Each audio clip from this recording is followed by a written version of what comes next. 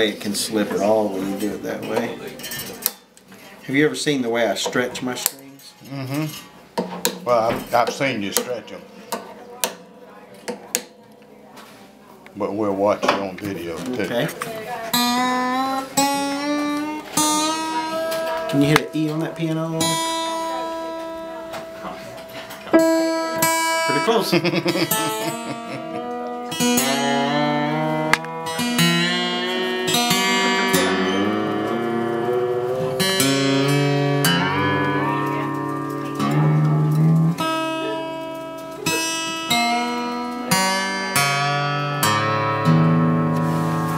I usually bend behind the nut a little bit on each string mm-hmm. because there can be stretch right here that you never get out.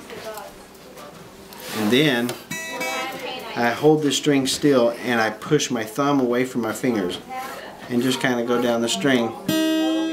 Bring it back to pitch.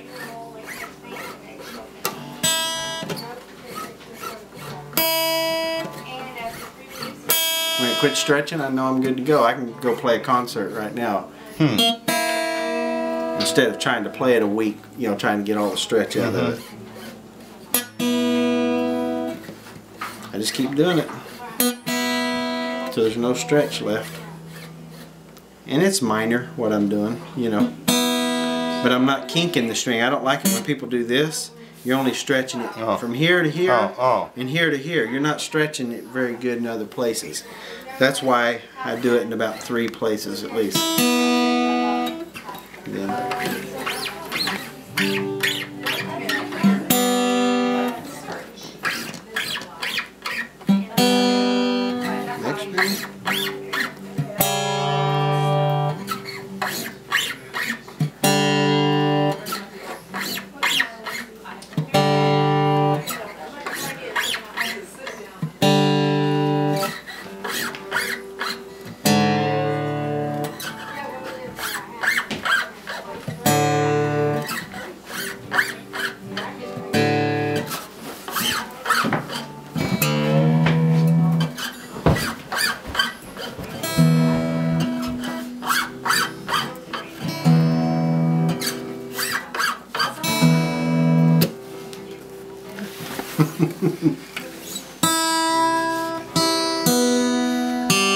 Oh, you have a tuner built in, mm-hmm. don't you? Mm-hmm.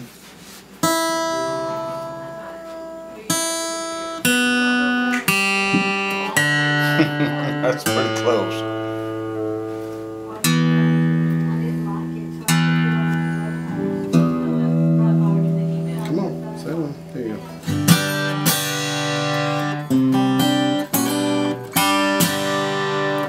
Yeah, something like that.